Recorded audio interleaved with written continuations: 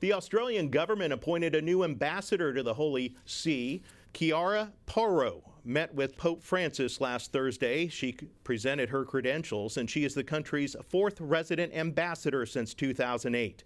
In at 36 years young, that is, she is one of the youngest ambassadors to the Holy See, and she brings plenty of experience in foreign affairs from her previous jobs in both India and Africa.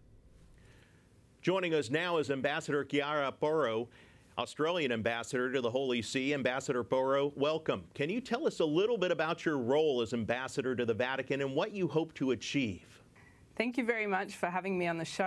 Uh, I'm very pleased to have arrived here uh, in Rome uh, and taken up my functions as Australian ambassador to the Holy See.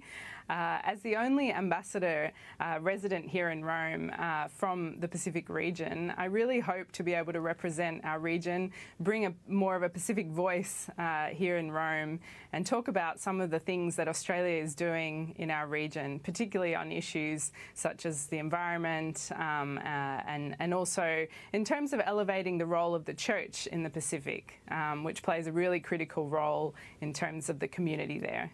Exactly, and some of the other issues that you want to advance also on the agenda are human rights and conflict resolution and peace building, correct?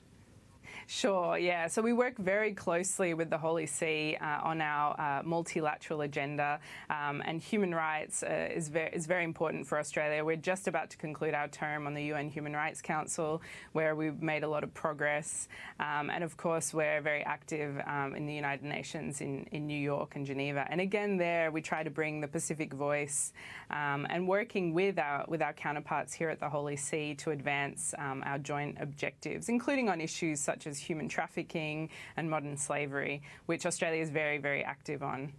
And I understand last week you had a very special visit with the Holy Father. What did he say and what advice did he give you? We, we had a, I had a, I was very, very fortunate to have the opportunity to meet with the Holy Father. We had a long discussion. Uh, he was very generous with his time. Uh, and we discussed a wide, wide range of issues. Um, I was very keen, again, to, to promote um, Austra- what, what Australia has done, our region. He's very interested in our region. Uh, he hasn't visited there yet. There was a trip planned for this year, but it has unfortunately had to be postponed. Um, so we discussed that. We also discussed youth um, and, and outreach to youth. Uh, for, in my opinion, you know, youth are really the future of the church, um, and I think it's very important. Uh, to be able to engage, uh, engage with, with youth all across the world. Um, I hope in my role as a, as a relatively young ambassador to be able to um, uh, act as a bit of a bridge, um, you know, for, for the younger population. Uh, but of course, taking into account all the experience and wisdom of the older generations who obviously have a lot to offer. You definitely do have a lot to offer, and you recently wrote that this year will mark the 10th anniversary of the canonization of St. Mary MacKillop, Australia's first canonized saint. And uh, how will the embassy be marking this milestone?